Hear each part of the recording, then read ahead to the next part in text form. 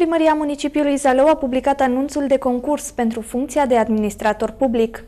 La aproape un an de la alegerile locale, primăria municipiului Zalău scoate la concurs postul de administrator public vacantat odată cu plecarea lui Radu Nistorescu. Concursul se va desfășura la primăria municipiului Zalău și constă în trei etape succesive, selecția dosarelor de înscriere, o probă scrisă și un interviu. Pentru a putea participa la concurs, cei interesați trebuie să respecte anumite condiții. Condiții specifice, studii superioare de lungă durată absolvite cu diplomă de licență sau echivalent în domeniul științei inginerești, științe administrative, științe economice sau științe juridice, vechime în specialitatea studiilor necesare exercitării funcției de minim 10 ani, experiență în funcții de conducere minim 5 ani, abilități, calități și aptitudini, studii postuniversitare sau de masterat în domeniul administrației publice, management sau în specialitatea studiilor absolvite. Printre condițiile generale impuse de primărie pentru ocupanții postului de administrator public apare și incompatibilitatea celui care a fost condamnat definitiv pentru anumite infracțiuni, cu excepția situației în care a intervenit reabilitarea. Dosarul se depune la Serviciul Resurse Umane din cadrul primăriei până în data de 29 mai, ora 16.